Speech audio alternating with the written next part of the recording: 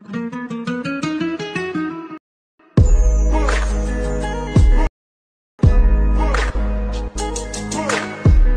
Friend जैसा कि आपने शुरू में वीडियो देखा, आज मैं इसी वीडियो का ट्यूटोरियल देने वाला हूँ।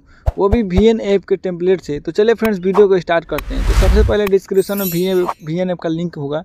आप उसको डाउनलोड कर लेना है मोड वर्जन है। उसके बाद आपको क्या करना है वी एन ऐप को ओपन करना है। और ओपन करने के बाद से आपको क्या करना है डिस्क्रिप्शन में एक आपको लिंक मिलेगा, उसको क्लिक करके आपको एक स्क्रीनशॉट दिया है, उसको आपको डाउनलोड कर लेना है।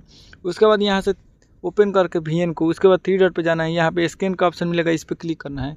क्लिक करने के बाद से इसमें आपको जो फ़ोटो डिस्क्रिप्शन में दिया था, उसको आपको स्कैन कर लेना है। करने के बाद से कुछ इस तरह से इंटरफेस देखने को मिलेगा। उसके बाद यहाँ से आपको डाउनलोड का ऑप्शन मिलेगा तो डाउनलोड कर लेना है। और डाउनलोड हो जाने के बाद से यूज़ टेम्पलेट आएगा तो इस पर क्लिक कर लेना है। और क्लिक करने के बाद से आपको एक फ़ोटो को यहाँ से सेलेक्ट कर लेना है। और यहाँ से एक ही फ़ोटो लगेगा तो चलिए मैं एक फ़ोटो को सिलेक्ट कर लेता हूँ। फ़ोटो को सेलेक्ट करने के बाद से आपको यहाँ से आपको नेक्स्ट का ऑप्शन मिलेगा, इस पर क्लिक कर देना है।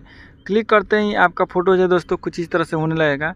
तो उसके बाद आपको क्या करना है, इस वीडियो को सेव कर लेना है। तो इसके लिए यहाँ से कॉर्नर वाले तीर पर क्लिक करना है और यहाँ से आपको, यहाँ से आपको क्या करना है, इसको थोड़ा सा बढ़ा देना है।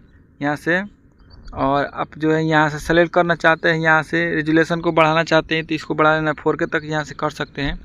और उसके बाद आपको क्या करना है, यहाँ से एक्सपोर्ट वाले ऑप्शन पर क्लिक करके आपको वीडियो को एक्सपोर्ट कर लेना है। तो फ्रेंड्स वीडियो आपको थोड़ा सा भी अच्छा लगा होगा तो वीडियो को लाइक कर देना है। और ऐसे ही वीडियो देखने के लिए हमारे चैनल को सब्सक्राइब कर देना है। मैं हमेशा ऐसे ही वीडियो लाता रहता हूँ।